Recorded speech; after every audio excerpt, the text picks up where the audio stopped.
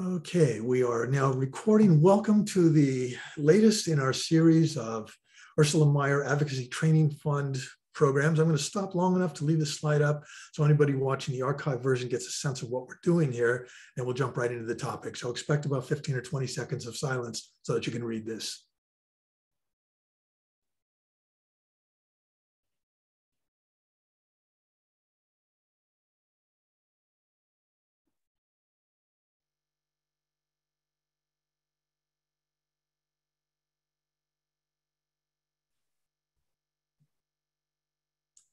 Okay, if you're watching the archive version and that didn't give you enough time, you can pause and go back to that. And if you've finished reading it, here obviously is our topic, just to remind you that today we are talking about storytelling for library advocates.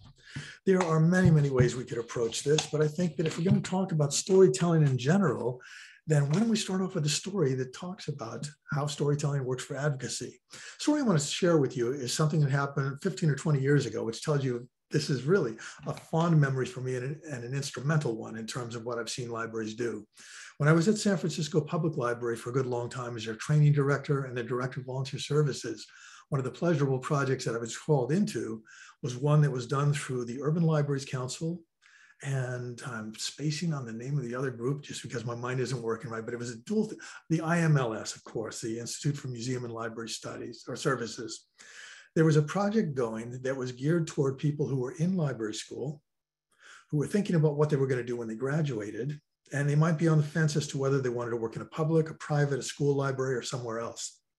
The mission here was twofold to draw people into public libraries, get them thinking about that while they were still in library school. And the other thing was to identify our own staff weaknesses in terms of ethnic representation and if we could identify students from ethnic groups that were not adequately represented in terms of our own communities, uh, we were to court them and try to bring them in. So lovely project. I really liked it. And I, I think there are models of this still going on. But to get to the gist of this, one of the students that came in was somebody who told me right up front from San Jose State University that she was very much interested in working with kids or in special libraries, but was thinking of school libraries rather than public libraries. And my reaction was great. We're going to enjoy having you with us in this group that's being funded through IMLS and ULC. There were 12 library systems all together. We were one of them. So the first thing I did was match her with somebody who was pretty high up in our children's division in the main library. And to get right to the punchline, somebody early before we started the recording here said, how do you avoid being verbose in your storytelling? We can skip all the details about what I did with this person and say, when she finished the program and she graduated, she applied for work at San Francisco Public you're all familiar enough with how this works to know that usually you start as a temporary as needed, just filling in. And if you're lucky, you get hired in as a part-time person. And then down the road a bit, you get into full-time position. Well, this one was so stunningly great. And the people that were mentoring her were so stunningly great that she had immediately made the decision as a result of the program. She was going to go into public libraries. She applied for a branch position as the children's librarian, and she got it fresh out of library school. If we talk about our roles as advocates, it starts with us thinking about what our libraries need and what our communities need. We look at that and we figure out what resources we have and how we can draw them in. We identify the compelling stories we can tell, and we identify the resources that go with those stories. In this case, the resource was clearly the person in the children's library in the main library here in San Francisco who was so passionate about her job that she took somebody who was way over here in terms of saying, I want special libraries or I want K through 12. And immediately, just by showing her what was possible and engaging her, moved her into becoming somebody that really benefited San Francisco public and that community for a good long time. And that person has continued to move up as an advocate within libraries themselves. That is what we want to focus on today. That one story we tell, that one moment of engagement that captures somebody so strongly that we're not trying to sell them on our cause. We are seeing ourselves as inviting them to be participants in what we do. So they will join us and their friends will join us, and we make the positive transformations in our communities that we want to make. That's storytelling for library advocates. Now, I'm going to take the slide deck down because we don't need to be looking at slides the whole time we're here. As I've mentioned before we got the recording started, and for those of you watching the archive version, what you can expect here is this is going to be a session where I'll give some information. I'm going to have the people in the live session as my co-conspirators bouncing ideas off each other. The second part of this, we'll do a little bit of workshopping so that you'll walk away with a story that you can immediately tell. If you're at home watching the archive version or in your office or somewhere on Mars watching the archive version, feel free to take the workshop time to do your own story and listen to the critiques we do back and forth and bounce that off your own stuff. So we're trying to make this applicable to everybody. And I hope the levels of engagement here will be great for you. Let us start with just doing some benchmarking here, priming the pump. I want those of you here in the live version, first of all, if you're comfortable with it, turn on your camera and unmute yourself so that we can really have a conversation here. But that's not a requirement. If for any reason you're more comfortable not having your face showing or not being audible, that's okay. I want to make sure that we create as much as possible a sense that we're in this space together, working together, and doing something that's going to be meaningful. Thank you for those of you that are responding to that right away. So here's what you do either in chat or unmute yourself and say it. Tell me one story that you want to tell to foster positive change within your library uh, and the community that it serves. Again, as you can tell, I'm just reading notes here. And for those of you that worry about storytelling, always have to look at somebody all the time. If you were face to face live in a room, you'd be looking down at your notes, doing the same thing here. Let's not worry about that part of it. Let's just converse. So the question on the floor is one story you want to tell to foster positive change within your library and or the community you serve. Any takers?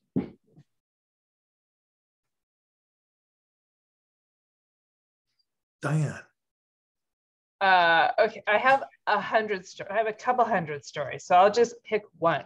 Yes. Uh, I'm an adult literacy coordinator, and so I work with adults who need to improve their reading and writing skills in order to achieve whatever they want in their life. So it's learners learner driven and goal centered.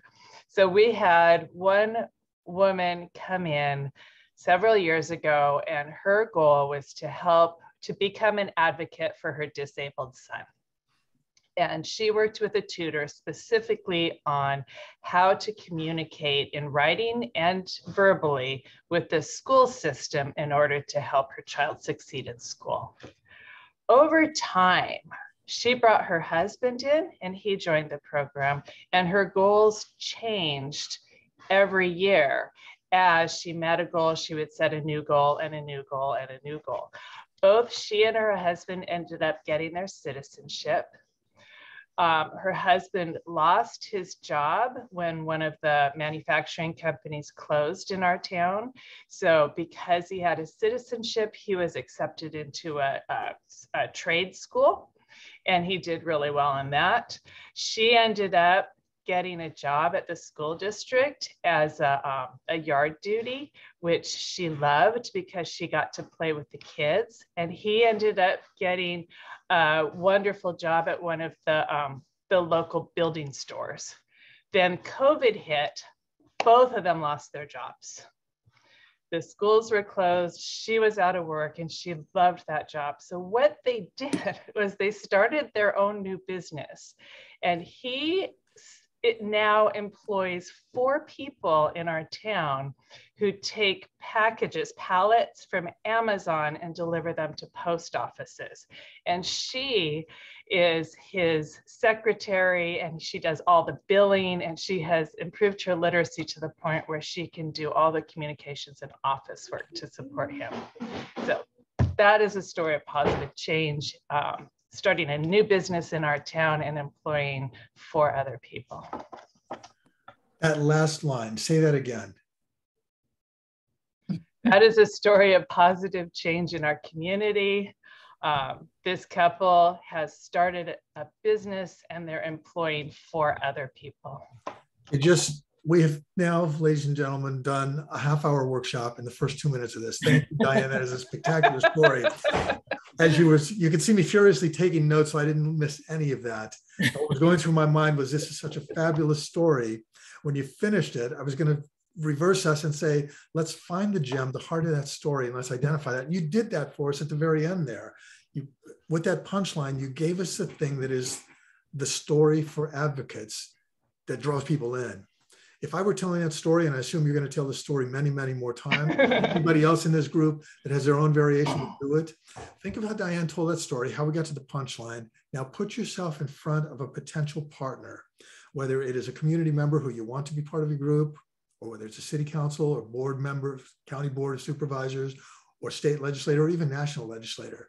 And the opening line, which is going to be almost guaranteed to hook them in and say, let me tell you a story about how somebody came into a literacy program at my library.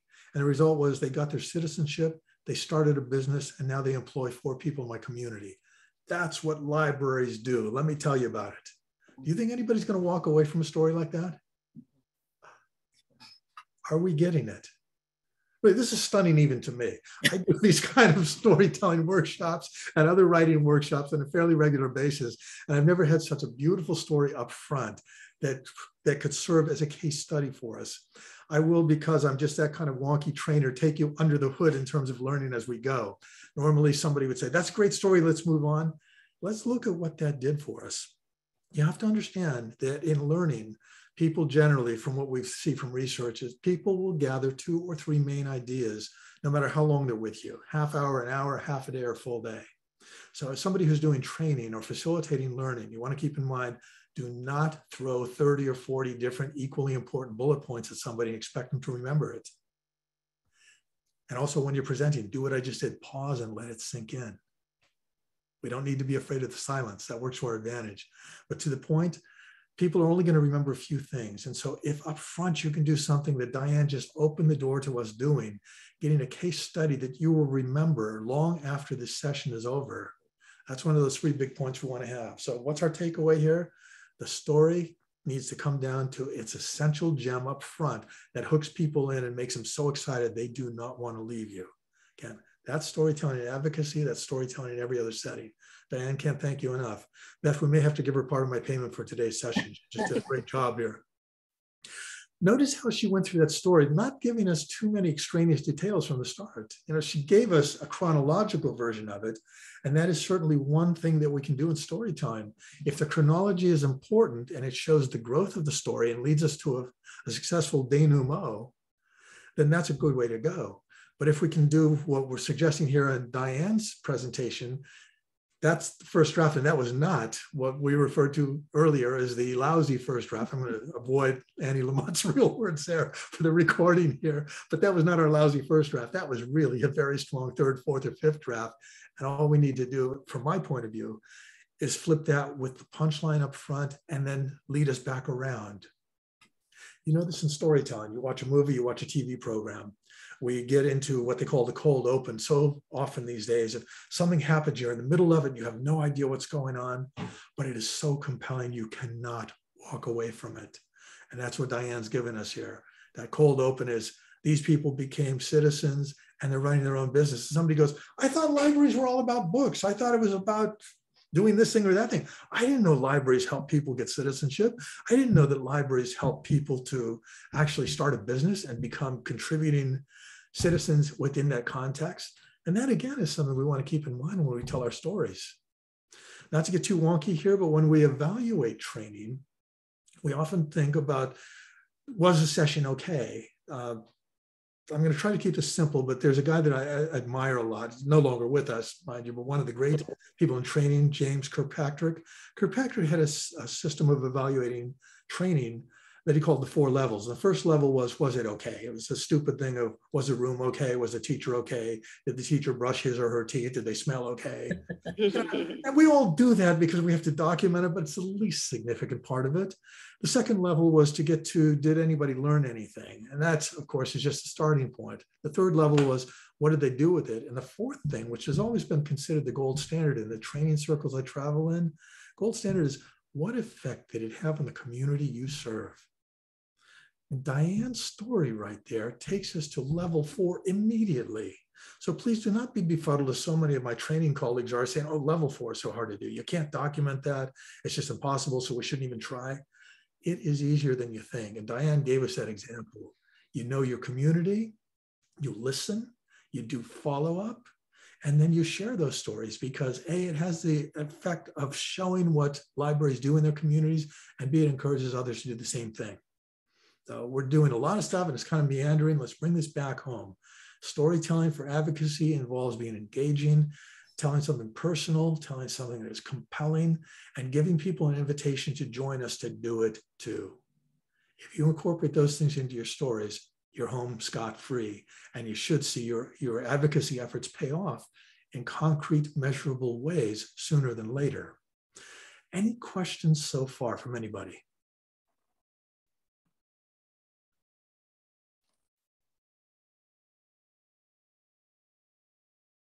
Look at chat while I'm waiting for that to come through.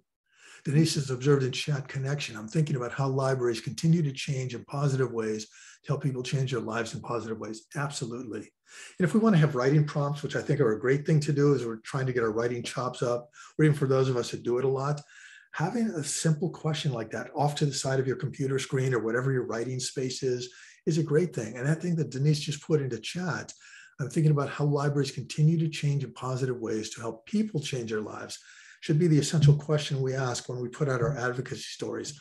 What change do we want? How do we propose making that change happen? And why is your participation, you're saying this to your potential partners in this, why is your participation essential? And a secondary question uh, beneath all those is, what would it look like if we don't do that? These create the dramatic impetus for great stories and for great advocacy. And that, again, the story that we just heard is wonderful. Any other comments or questions about it? Any observations so far? I'm happy to, Paul, if you wish people would say something out loud. You're Please. doing a great, you're doing a great job in this COVID Zoom life. Um, you made a great comment, which is, I'm sure something everybody would agree, the knowing your community. And I was just reflecting on how dang hard it is to know our community when there's so many communities within the community and how easy it is to think we know our community, right? So who do we see? We see who we see. But to know your community. So, for example, Santa Cruz has a unique situation where it's a really, really expensive place to live because it's a very appealing tourist town. So it's a really expensive place to live. And because it's a tourist town, a lot of people have very low income jobs, right? You know, absolutely food service, the metro buses, uh, construction, things like that. So we're hard pressed between real wealthy and real low income people. And one of the proposals for our fabulous new libraries for it to include low income housing. Now, you say low income housing to some wealthy people, and they're very proud. Look how much we help the needy. You say low income housing to some very wealthy people, and they say, I can't believe this is where my money's going. I've worked hard to be able to afford to live here. Um, and if we're a group of friends trying to raise funds, it's like, who's our, who am I speaking to? You know, so it's just a tough thing to know who you're talking to when you're telling your story. Thanks. Monica, before you cut off there, sure. what do you do to reach out to your community to better understand the different elements of it?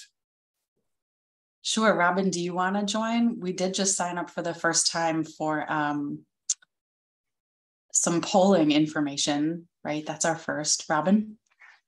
Yeah, we did um, learn our situation is also unique in that the library that we would like to see built it's a new library in downtown Santa Cruz.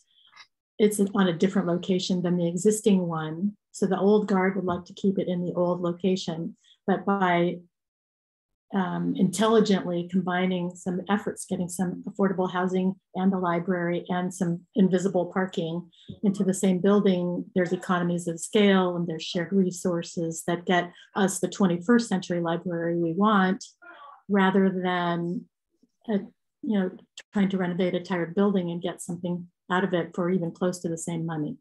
So, you know, we've got these sort of multiple messages that we're dealing with here, one of them being housing. And so the polling is looking at it and finding out that the housing is an issue, but, you know, we have to kind of, I think, um, separate out the various people there and make sure that we're, we're able to talk to every mindset that is in our community when it comes to the housing and the library part of it. and how do we know who's who? so many rich things to draw from here. And again, let's not lose sight of the fact that this is all coming back to the stories we tell and how we tell them. If I were mm-hmm. trying to, to, workshop this quickly, I would start with the uh, with a rough first draft version of. Has it ever occurred to you that libraries and housing people can go hand in hand? That question to the right audience will make them say, never thought of that. Where are you going with this? And they're either going to be curious or they're going to be in that group that says, we don't want to see that happen. And then you walk. Then you know, then you found out. The group that is okay. But for the group that is effective, the creative people you want to work with that are looking for innovations and what my colleagues and I call a new and better normal rather than going back to some normal that wasn't so hot in the first place. This is a compelling question and it allows you to mm-hmm. go into the stories. And so that makes me want to ask you, Robin and Monica, what stories are you hearing now that you're already incorporating into your efforts?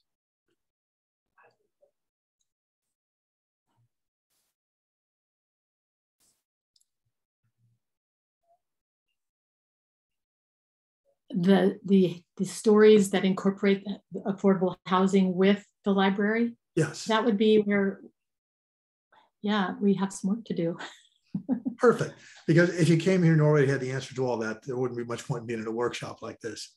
But there, there's a question for you. And it's not just for Robin and Monica, it's all the rest of you who may be doing your own projects that for you are cutting edge, innovative, and have a community impact that's positive. In a time when we so desperately need positive, creative solutions rather than divisiveness, we can do this thing through libraries that bears repeating. We can do this thing. And our stories need to reflect that. We need to be upbeat. We need to be creative. We need to acknowledge that we're going to see some opposition on some of the things we want to do. We need to listen to that opposition and incorporate that too into what we do. Uh, reference to one of the earlier sessions, I think it was last October, November, probably November of 2021. We had Patrick Sweeney from EveryLibrary, and we're hoping we'll have him again back this year to talk about things.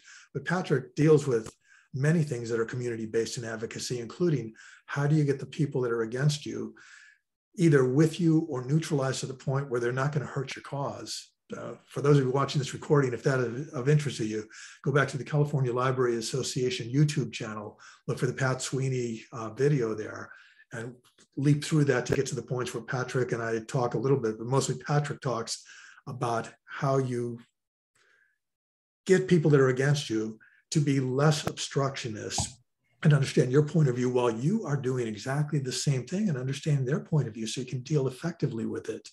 You might be surprised at the opportunities for collaboration that can come out of that. And know, you look back to the chat and see what else is coming in. Monica observes knowing your community is hard. A community is made up of so many communities. In fact, again, that's something that the two of you have just been talking about we're at a time when we talk about diversity, equity, inclusion, and justice. We'll be doing a whole session on that next month, the second Wednesday of August, with a panel of, of people from library land that will be looking at what that means to us in terms of our advocacy. But we know that that is an essential part of being able to tell our stories. Let us identify those different communities and let us tell the stories that appeal to those communities. You understand that one story is not going to fit all situations. So you really have to be like a jazz musician have as many riffs as you can have and be ready to call on the right riff when you identify what's going on. I'm going to circle back to something I hope is obvious to all of you, but a, a great quick story that I observed when I was a training director and volunteer director for San Francisco Public well over a decade ago. We used to try to do outreach to kids and bring more kids into the library and have strong relationships between the community of children and teens in those communities and the librarians there it was a study in contrast for me as the volunteer coordinator to go out to some of these places and watch the relationships. There were a couple of branches where there were kids all over the place as soon as school was over. There were other places where it was just dead as a doornail. And it took me not all that long to figure out that the ones that had the children and the teens coming in actively using those library facilities were the ones where the librarians routinely went out to the schools and the community centers and talked about what they were doing and invited children and the teens into their branches. The ones that were dead as doornails were the ones that thought they got to come to us.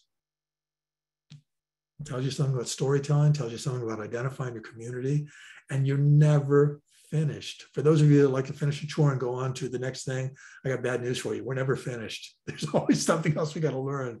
And whether it's learning to be a better storyteller, learning to be a community advocate, or anything else that appeals to all of us who are on this conversation together today, that's part of the gig, folks. We know it, we embrace it, and we work with it, and we understand, most importantly of all, we are not alone. Now, it sounds like i am doing a paid shill commercial here, but really, I would be remiss if I didn't say you need your communities. And obviously, California Library Association is one of those places that gives us a chance to meet. So, if in any way you're feeling isolated right now from other storytellers and other advocates, understand that this wonderful bequest that allows us to do the Ursula Meyer training series is a way to bring that community together by participating in these monthly meetings, by telling people that the archive recordings are out there so that they can learn from them, by meeting when we go to CLA conferences or ALA conferences or any other regional thing that we go to. The more we communicate, the stronger we are, and the more we understand we're not alone in this. And then we become better, more effective storytellers. So if commercial, and no, Beth did not put me up to that. I just willingly said that today because I think it's an essential thing for us to remember as part of our storytelling toolkit. Our toolkit includes our colleagues and the workshops we can do like this to bounce off each other and get stronger and stronger. Let me stop again. Questions or comments about what we've just said together?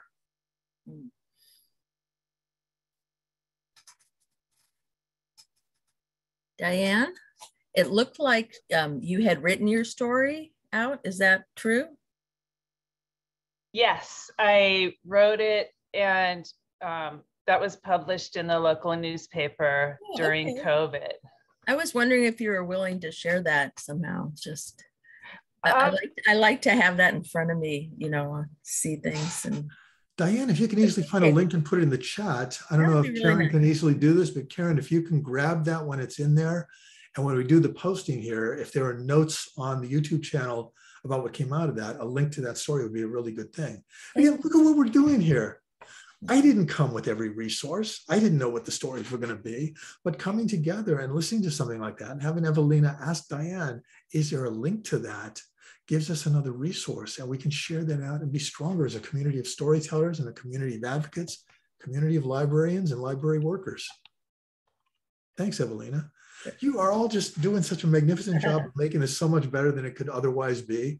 I really appreciate that. And I hope that what you're seeing happen here is what you do at the end of the session back in your own communities. Talk about what you got here, share the resources, let other people know, bring those people in because we get stronger every time we do something like this.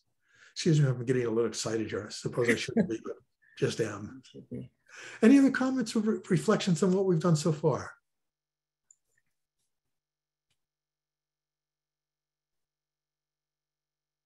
Okay, so now let's go back to the dreaded slides. Um, what we're going to do over the next few minutes is go into some things that we've already partially covered just through your own comments, but I want to make sure it's explicitly clear to you that there are some things that we can be doing that are elements of storytelling that can be incorporated into our work. So I'm going to go back to showing the screen here as soon as I can get that deck back up here. And it looks like there it is. Let me put it back into slideshow mode. Sorry, I got so many images and messages on my own screen. If you're seeing that bouncing arrow, it's just because I've got a bunch of stuff I'm dealing with. And you may not be seeing that. And So the arrow kind of makes it look dizzy. Let us jump past the first couple of slides here. Now let's talk about a few tips here. Storytelling number one, uh, tip number one. You already have heard from what other people have said in this particular conversation that it's got to be meaningful, it's got to be engaging to people. I think there's a tendency when we're trying to tell stories to try to figure out what that one little gem is that draws people in. And sometimes we can focus so much on a detail that the overall picture is lost. So, one of the challenges we face is finding the detail that's compelling, but putting it within its own context. So, a quick question to you. You're looking at this image that I've got here on the screen. Can anybody tell what that image is? And I need to bring up my chat so I can see if anybody actually responds that way. Mosaic, stained glass, or mosaic? It's a mosaic. That's great. And so the real loaded question here is, do we have enough of the mosaic there to be able to tell what the whole picture is? Yeah. Right. And that's sometimes what we do in storytelling. We get so much into one little detail there that the whole picture is not obvious until we move on to, and my slides are not advancing. There we go. If we step back, oh, there we don't go. Let's try that again.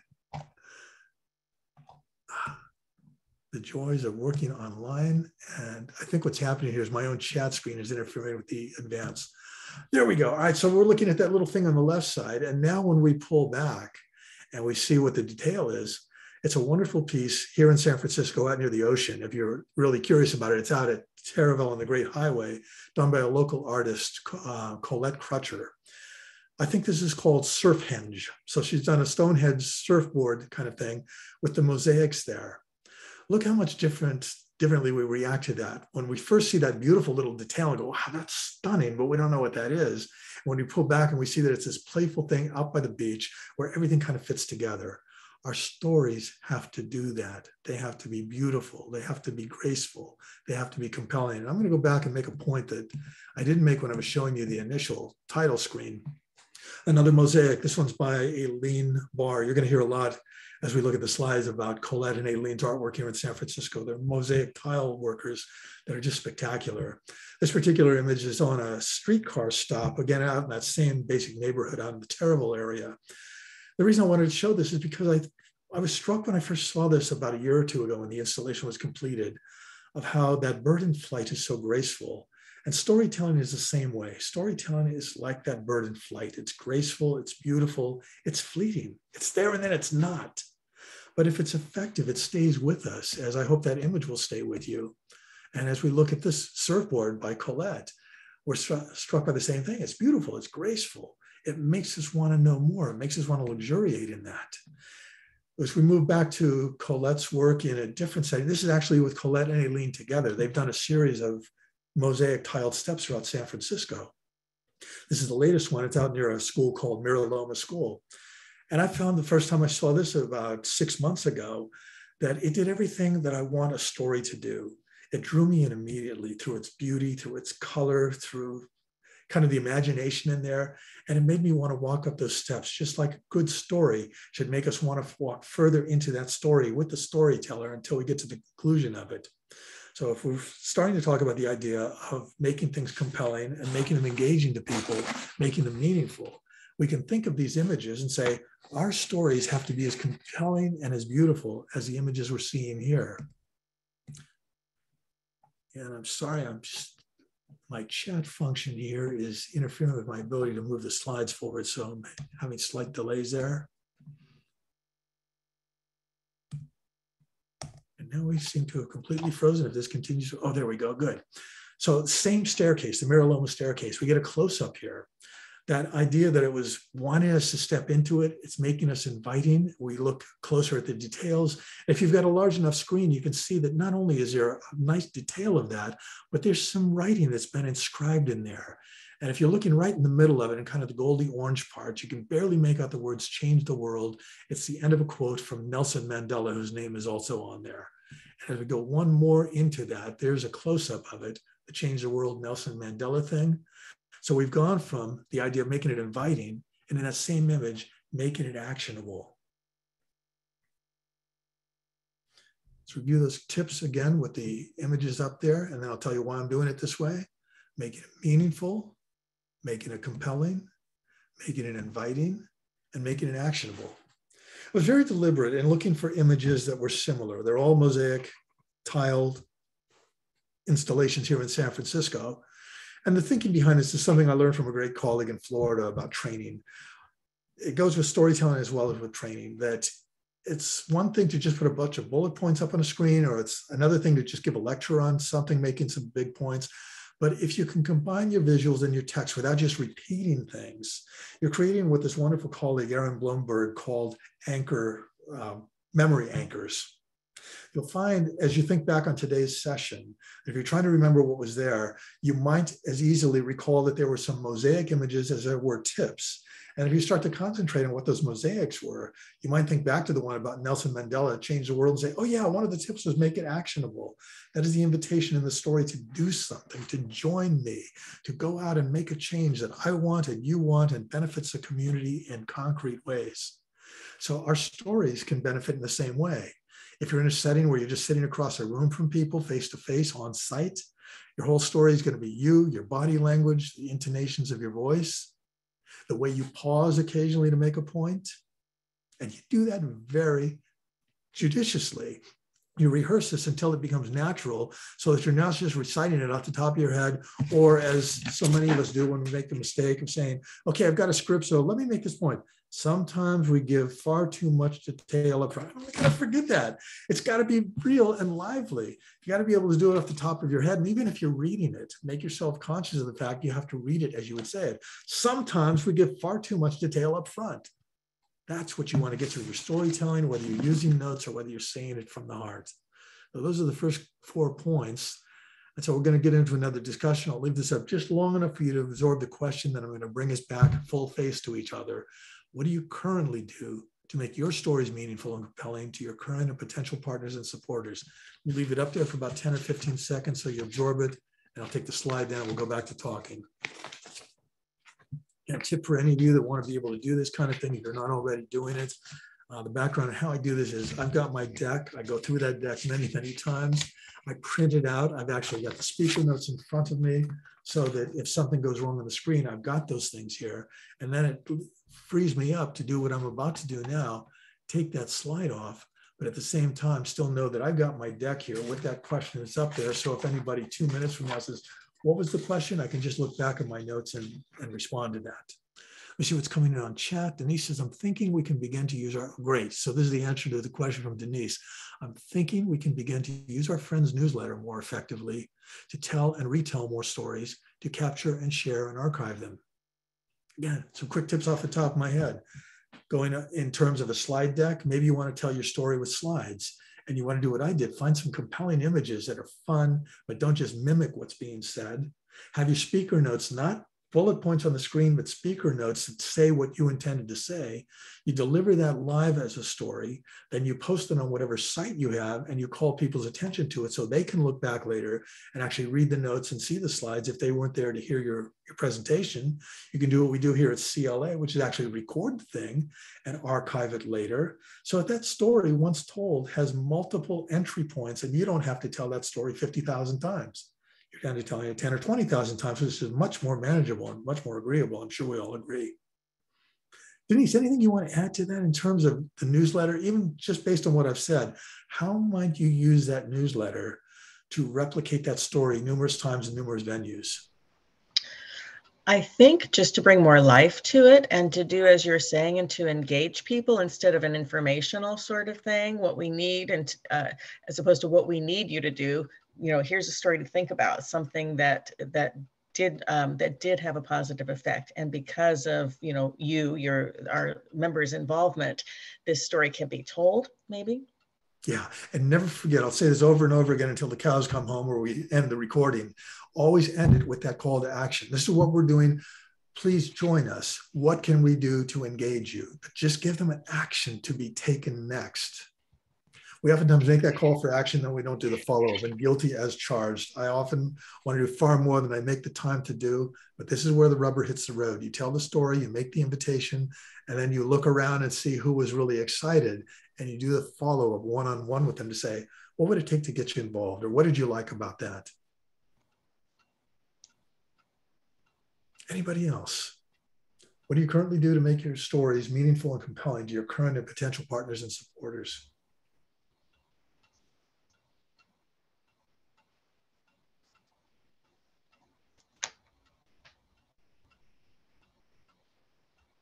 Well, tonight I'm going out to talk to a veterans group. And um, what I'm going to be doing now is re looking at my slide deck and really focusing on what I want them to I want them to know how wonderful we are, but really what I need to focus on is what how wonderful we are specifically for their needs. And let's take that one step further. I've done a lot of workshops with library directors, encouraging them to build collaborations, not by going out and saying how wonderful we are, but going out and saying, what do you need? Yeah. What's your pain point? I have a great consultant friend, Sardik Love, out of Washington, D.C., and I admire the heck out of Sardik because he's just so right on so many times. His thing, consultant to consultant, is always ask a potential pl- uh, client, what hurts? What's your pain point? And I think it carries over nicely into advocacy work. When you're going out to that community, like you're about to go tonight, what hurts for you? What do you need to do? And look for the area that hurts for you too and say, well, that hurts for us too. Maybe we can work on this. Right. That is the old Huck Finn thing of, hey, help me paint the fence. We're going to have fun here. Mm-hmm. And it is not manipulative. It's offering opportunities. If you think that that's manipulative, we need to work ourselves past that and say, we are all about doing things in our communities that give them opportunities and give us opportunities to create positive change.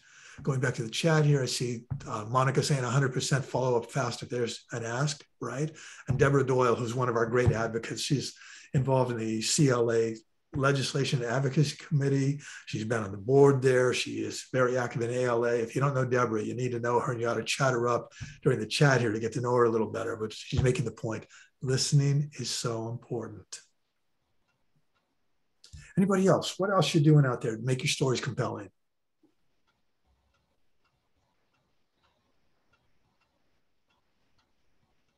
One of the things that, um, hi, one Hi, of the Pat. things that we've been doing is uh, I'm part of the Library Foundation, and we are an advocacy group going out. And as I spoke at the last one, which is uh, getting folks to how can we support you, and what is it you need. And so we're going to every city council in our um, Stanis, in Stanislaus County. Okay, so I, we're I'm headed out to a small um, little city within our county. But what we've done that I took from your last, uh, you know, workshop too, with what's going on here, is about the listening, interviewing the librarian. We talk to some of the people, so the friends group. So when we go to this city council in Patterson, I'm going to start off with these are the things we've heard that are so great. These are the things we know you have going on. Patterson, congratulations. You now have a garden that you are partnering with the, uh, your garden club here in your city. Uh, we also know that you are lacking in um, having, uh, you know, staffing right now, and we are all doing everything we can to help support the uh, business of getting more folks to help you out. So personalizing where we are going to the city and city councils to how they can taking from the general into the specific because uh and I changed that whole approach because you guys, you know, I, we were starting out. Well, here's all the things that are wonderful about what the libraries do, but how to make it relevant to the audience that we are really talking to, which in each case is a different set. It's a different city, like someone was saying about your community. So you got to know your communities, and they're all different, and then um, try to address and hook them in but also still getting the general message across, which is we're here to support all the libraries and all the great things they do. So um, it's helped to listen to the last two uh, workshops, putting them together, and I really have appreciated the information. Thanks so much, Pat. Let's bounce it back to Kathy because there's one other opportunity here for all of us. Kathy, what have you done uh, in terms of researching your audience for tonight to get to know them better before you walk into that room? Well, they're veterans, and um, knowing how hard it is for veterans, my my own family, my my uh, 24 year service nephew um, passed due to COVID this year, and finding out how hard it is to get benefits, and we're still working on it for his surviving children, and so that's been real firsthand information. You know, Nick, helping my family Nick, get through to FEMA to help with burial, to get survivors benefits, those sorts of things. So that's been from my own personal experience. And condolences up front on your loss. Really Thank sorry to hear about that.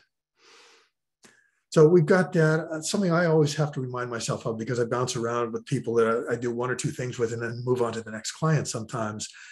You know, look at, I don't know if you did this, but have you looked at the veterans website for the group Yes. you're going to? And you've seen anything has been written about them lately in the local media or online? Not not a lot. They're they're trying to do a lot of reviving, and um, this is actually my second attempt to talk to them.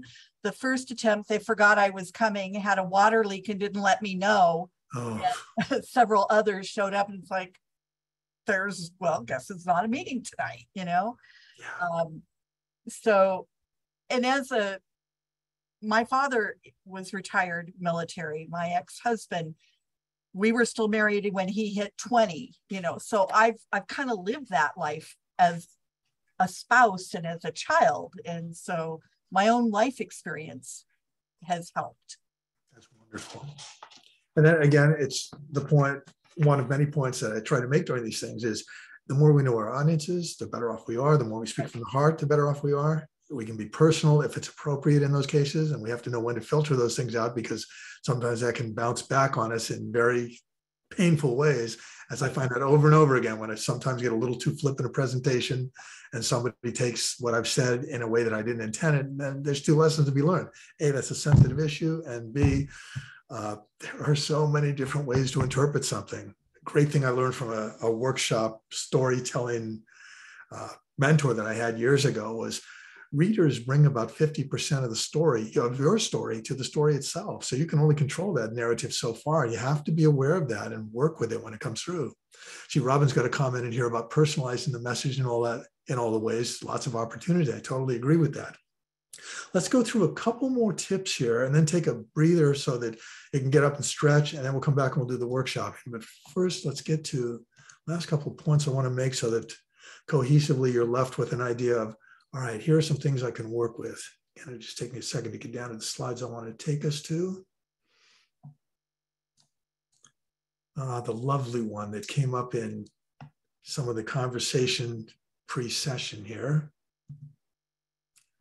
making it brief. This is the hardest thing in the world. We have so much to say. I'm quoting a great colleague, Pete Bromberg here, who did a presentation on presentations 10 years ago.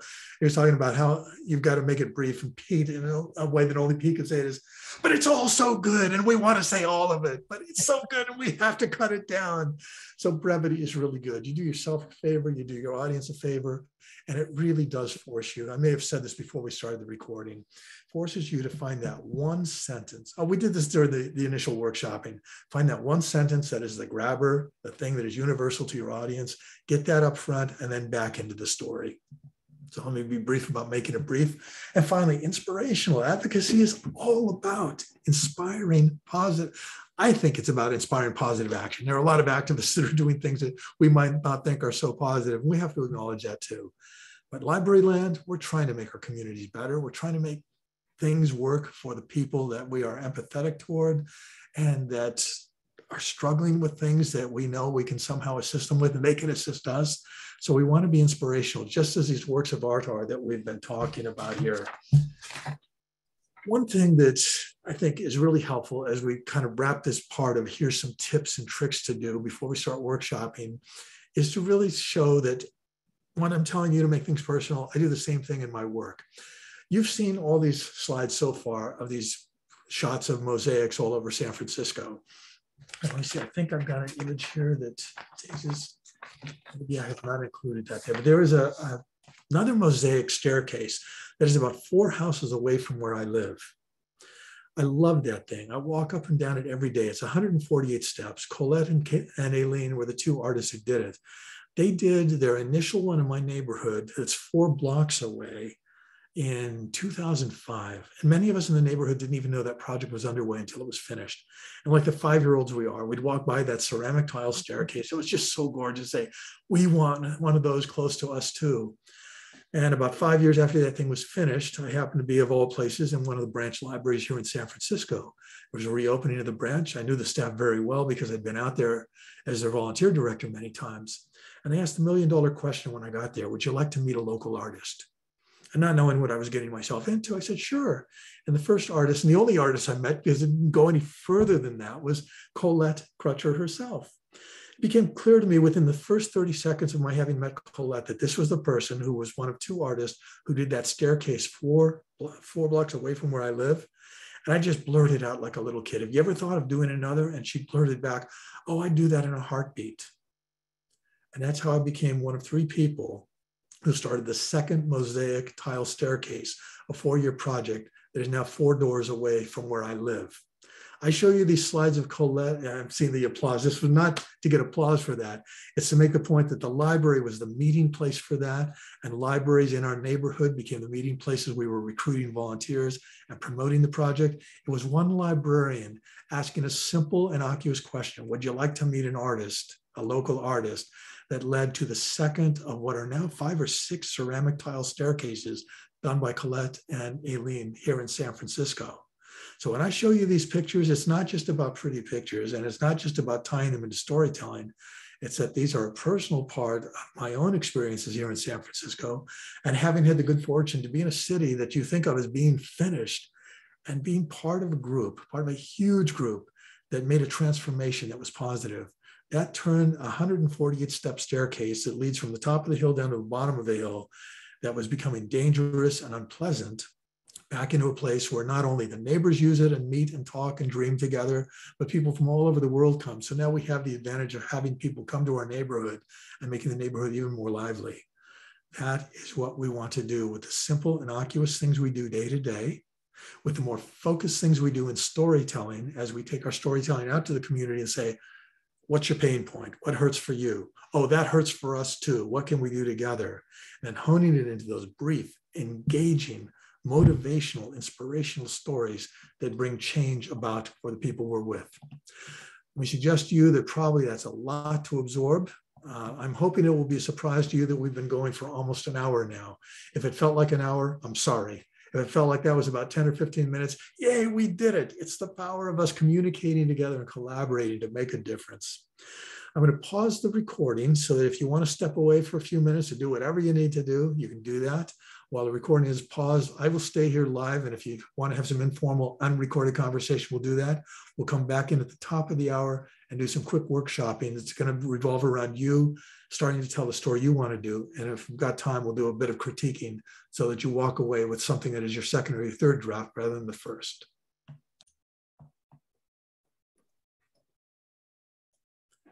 Welcome back after our brief pause. Those of you who are watching the archive version didn't notice a thing, you didn't feel a thing there. Those of us who are in the live version have just had five minutes of behind the scenes spirited conversation about things to go for and how to approach some of the specific things that we're addressing.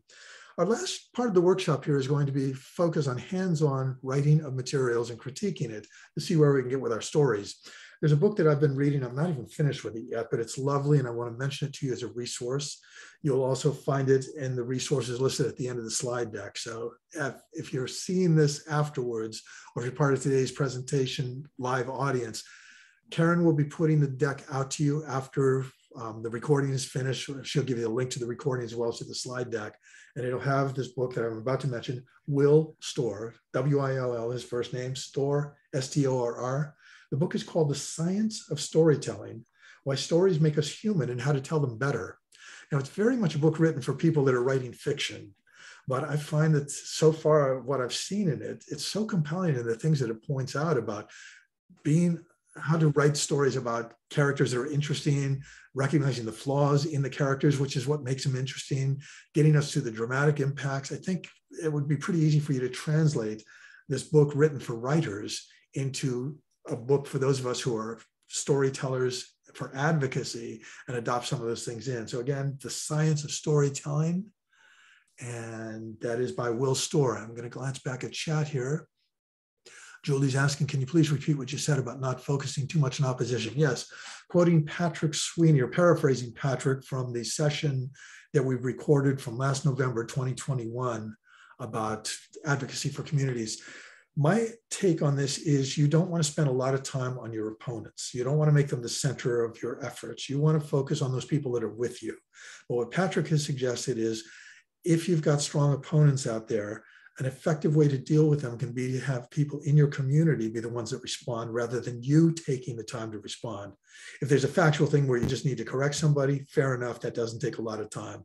But if you're proposing something and somebody is adamantly opposed to it, the less you can do to be drawn into a tit for tat kind of argument with them, and the more you can do to let others take that up for you, the better you are at putting your efforts into the positive side of advocacy and change that allows you to, to use your time effectively.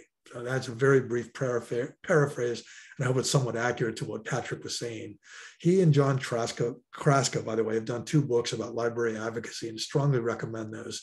I've got them listed on the CLA advocacy tools page which is a great resource for you. You can go and find the books there. And it's a good time for us to pitch that page. If you're an advocate and you want to find a bunch of resources that will help you in a variety of topics, go to the California Library Association site, follow the link to their advocacy page, and there will be a link there to the advocacy tools. We spent a lot of time last year putting up a variety of resources, and we'll continue to update those as time allows. So storytelling and workshopping here. Three storytelling techniques that I'd like you to apply as you talk about your own story here and workshop it. The first is the idea of the quest. We all know about quests. We've seen so many stories, movies, read short stories. It's the state of the problem and a solution offered. So if you can frame your story in terms of a quest, here's what we're trying to do, here are the obstacles we're facing, and with your assistance, here's what we can do to make a positive change. You can take that typical storytelling thing and turn it into a tool that works effectively for you. A second approach is the head and heart approach, which is a data driven story that features emotional impact to suggest the need and response. And that's really good if you're talking at the legislative level or if you're talking to other formal organizations where you're asking for a vote of approval. You want to give them the data to know, to show that you know what you're talking about and to document the problem that you're trying to resolve rather than just having them take it as, as a matter of faith that there is a problem. But get back to that emotional story. You know, we've heard some of those in the first part of this. There are plenty of other stories out there. And again, on the California Library Association Advocacy Tools page, we've actually done a series of interviews with advocates in California that talk about the things that they faced and how they went out there. These are all great resources for you. And finally, a third thing is the we're all in this together approach to stories, the personal story that applies to everyone, not just to the storyteller the huge caveat, which should be obvious to all of you at this point in this workshop, they all have to be audience centric. They all have to be engaging and they all have to be capable of inspiring positive action. That's storytelling for library advocacy. So to review here, you can do your, your workshop story any way you want. But if you're looking for a framework, the quest or the head and heart approach or the we're all in there together, that may give you a starting point. So your mission here over the next few minutes is with whatever tools you want to use, think of a story you want to tell that is going to lead to a positive impact of drawing people into the cause for which you are advocating. Draft that out in about five or six lines, remembering that you want a, a sharp, engaging story up front, you want a little bit of documentation about why it's important and what will happen without it, and then the request for action. Take a few minutes to write those out, and when you're finished, let me know that you're ready, and we'll, we'll go through a few of those very quickly to see what you came up with and see what we can do to improve them. You're on. Any questions? I think this is where, again, I'll pause the recording just briefly, and if we get into questions, then I'll, I'll restart the recording for the home audience. Okay, for those of you watching the home recording, that was about five minutes of real time here where people were writing their stories. And now we're going to jump into a couple, do some quick critiques and see what you can do in a brief period of time to get a first draft going and what we can do briefly and quickly to improve a second and possibly even a third draft. So Robin, I understand you've got one ready. If you want to go ahead, please share that out. Let's see where we go. Okay. All right. Um, we Santa Cruzans stand for personal choice, learning, individuality, and healthy community. And our library system helps us be all of that. Now, our central library is under threat of being placed on hold for two years, creating havoc for all nine other libraries if we let the ODOF initiative pass. Besides that, the library, um, besides that, the library they want to build can only be a shadow of what we've planned and funded through Measure S and partnering with affordable housing we need your help to keep our community healthy with the library and the housing. Great. Uh, does anybody need to hear that a second time, or do you have a good idea of, of the basic pitch she's made? I've seen people go, well, okay. So initial reactions, anybody, what did you like about what you just heard?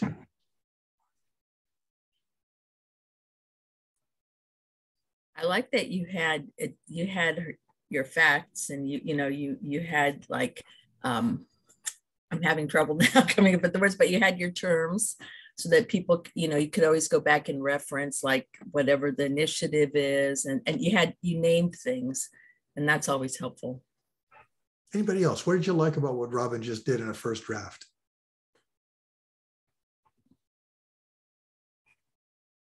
I liked I liked at the end you said what you wanted yeah. you wanted people to support your cause.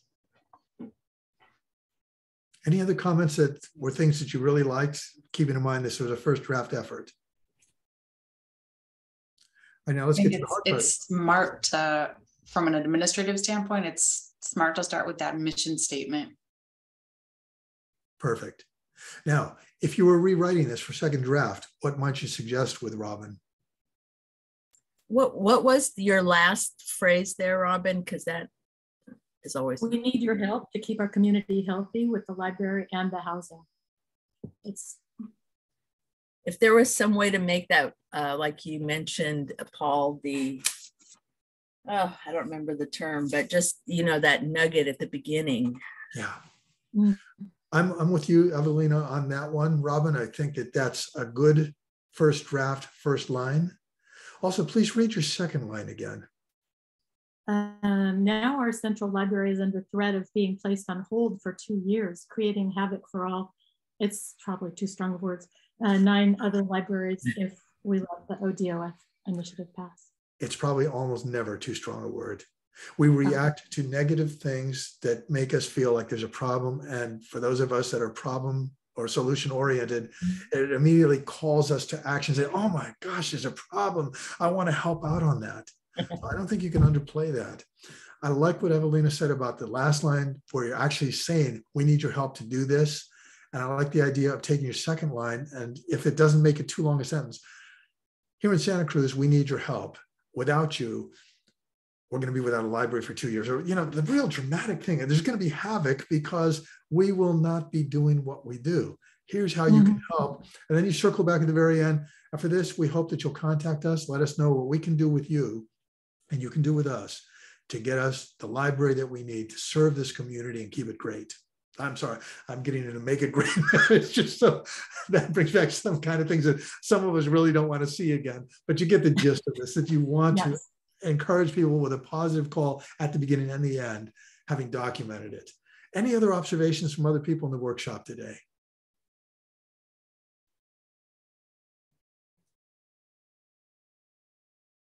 Tell me for Robin's benefit, how impressed you were at what she came up with in five minutes or less. Anybody? Wow. I think this is something that obviously has been churning in your mind, right? And you've probably talked to other people about it. It's not, that's why I, I was having trouble because I couldn't decide on one, you know, I could say this or that or whatever, but you're focused and um, you're feeling this story. And I can tell that. And that comes back to one of those six points I was making earlier. If it's engaging and it's personal, the audience trusts you. Yeah, yeah, want to be with you. It's so much better than somebody that's screaming about everything that's wrong and not giving us any kind of an outlet and just adding to divisiveness. Mm-hmm. monica's put in a wonderful comment here so professional and classy robin. Mm-hmm. totally agree. How'd that feel to you robin having to write something like that in five minutes or less? Um, i do that a lot but i i what i wanted to do was not fear telling the story that's about the thing that I'm scared of. Mm. You know, mm-hmm. like there's like fear around it. And, and so I felt like putting this out here wasn't like that pretty story or that like feel good story. And I was wanting to find what is the feel good in it. And, and I, so I was trying to identify our similarities as Santa Cruzans to start from there. So it, it made me try for that. And I know it was, it was just a first draft. That's exactly it all of us in this live session, all of you watching the archive version, remember it's just a first draft. It's not the end of the world. Take that pressure off yourself. Understand that even the best writers sometimes will do 5, 10, 20 drafts. I am not that diligent myself. I rarely do 20 drafts. I'll tell you, even on a blog piece, I write a six or seven uh, paragraph blog piece, which covers a, an issue of interest, I hope, to my colleagues in training, teaching, and learning.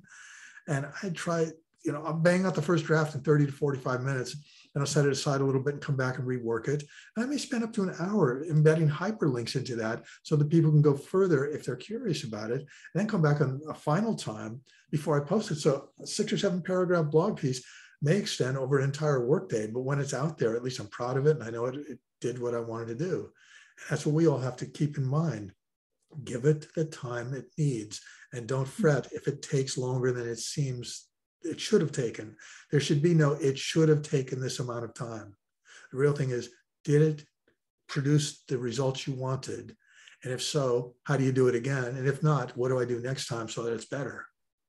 Mm-hmm. Wonderful, Robin. Anybody else want to go with the story?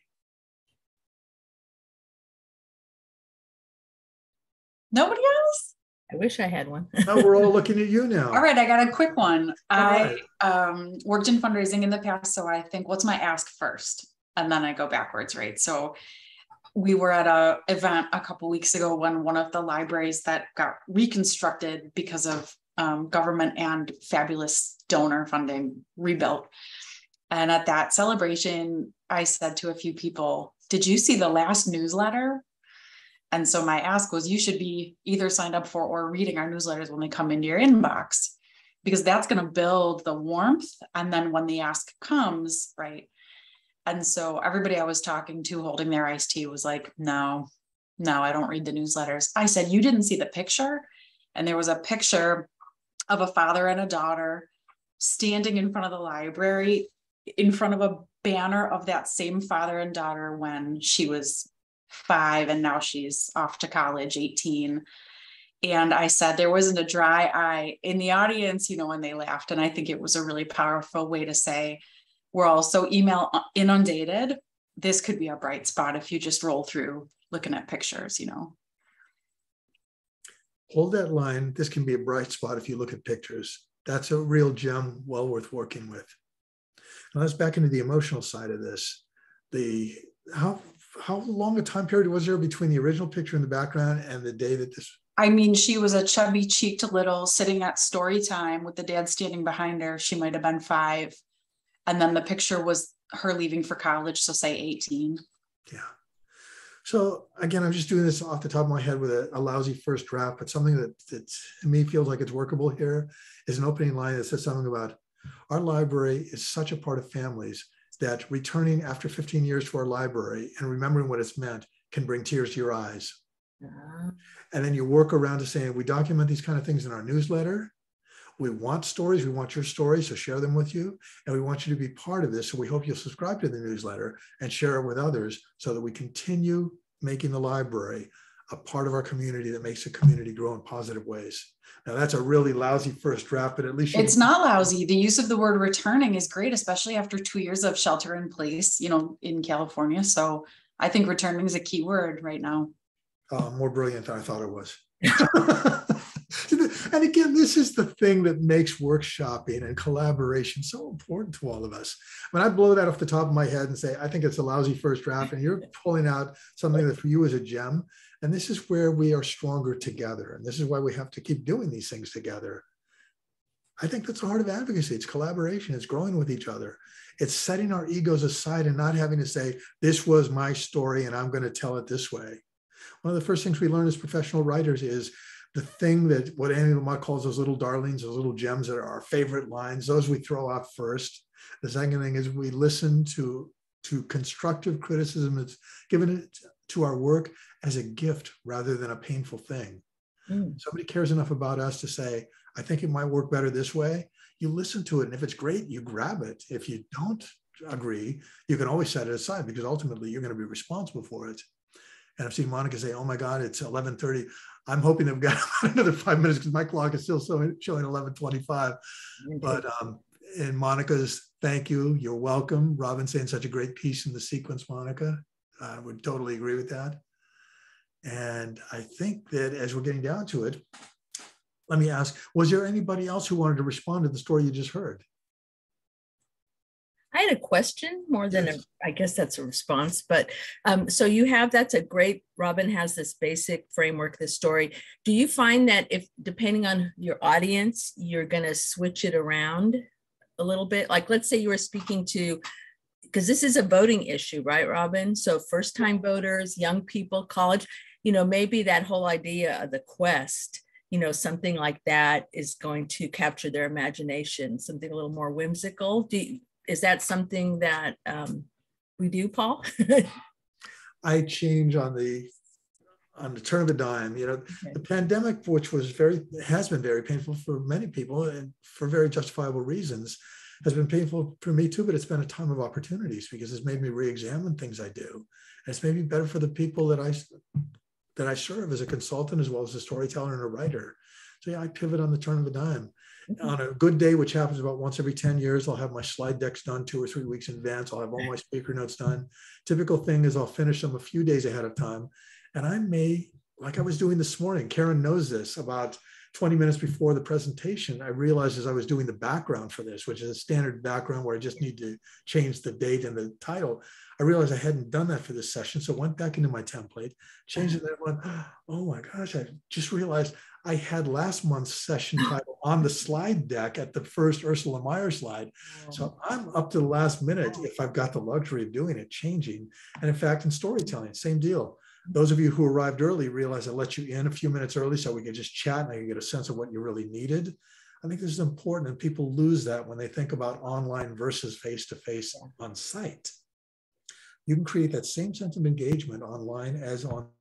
And in fact, you should try for that just by doing the things you would do online, on site when you're online. Have those informal conversations. Take those breaks. Don't worry. So many of my colleagues worry uh, if you give people a break halfway through, they're not going to come back. It's like, if giving them a break means they're not going to come back, you were doing it all wrong. I never worry about that. And we will notice anybody watching the archive version notices that we have a smaller group now than we had at the beginning. That wasn't because we had a break. There were people letting me know throughout that they had other meetings to go to.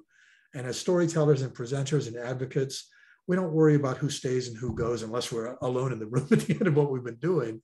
We just care about what is accomplished in the time we have together and whether we're talking to one person, 10 people, or a thousand people, we're not rock stars. We're out there trying to make change. And sometimes it's person by person, step by step. Sometimes it's with much larger groups of people.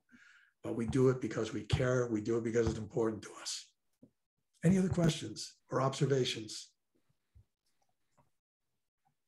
Let me do one last screen share here of the deck because I want to do a summary here that makes a point I made earlier to you about the importance of having visuals that tie into your conversation and become memory anchors for you as you are setting up the learning process for people.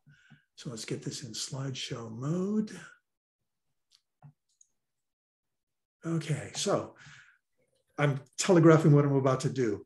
The summary here is not a bunch of bullet points. The summary is reviewing the points that I hope will stick with you and tying them back to the images we had in the hope and the belief that saying the words and having the image there will make it more memorable to you than otherwise would have been the case. So we started off with the idea of telling stories that draw back enough to give the context and not having stuff so specific that the listener gets lost in what you're doing. We talked about the need to have something that's inviting and makes us want to go with us up the path of that story. We talked about the importance of honing in on the particulars and making it engaging. I did not have this slide, and I think that was a mistake in my final prep of the deck. There should have been a slide that shows you the hidden garden steps that I talked about, the one just four steps away from me.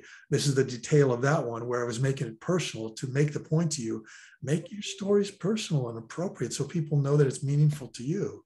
And finally, remember that storytelling, whether it's for advocacy or any other thing, has to have that sense of grace, that sense of flight, that sense of lovely, fleeting thing that stays with you at some memorable level so that people walk away transformed, excited, and they want to join you. So let's get that off the screen. Got just one more minute. The question I always ask, and I'm going to ask you to please play with me on this one. What is one thing you will do differently in the next week as a result of having spent time together in this session? Anybody? If you're watching the archive version, freeze this long enough for you to, to jot down your own answer. What's the one thing you're going to do so it becomes your action plan and makes this meaningful? I see Diane say, design a hook to begin my stories. That's wonderful.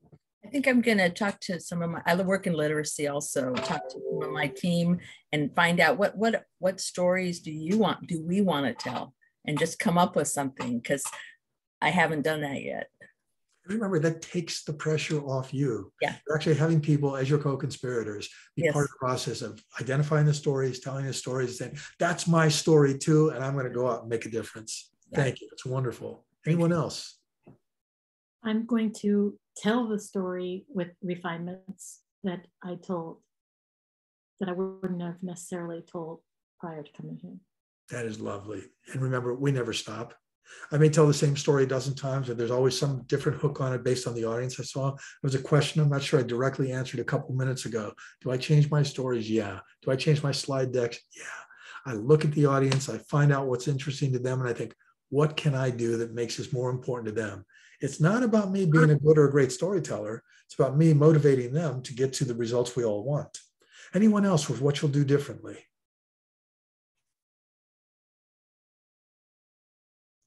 But I think that unfortunately for us, but maybe fortunately for you, takes us to the end of our 90 minutes together. Thank you for being such great co-conspirators and making this such an easy, lovely session. I love the stories you told. I love the inspiration you bring. I hope that makes a difference to the people that you serve. I hope you join us again next month and in future months for the second Wednesday of the month Ursula Meyer training series as we continue bringing you the best people we can bring to talk about issues of advocacy to help you and the communities we serve be better. See you next month.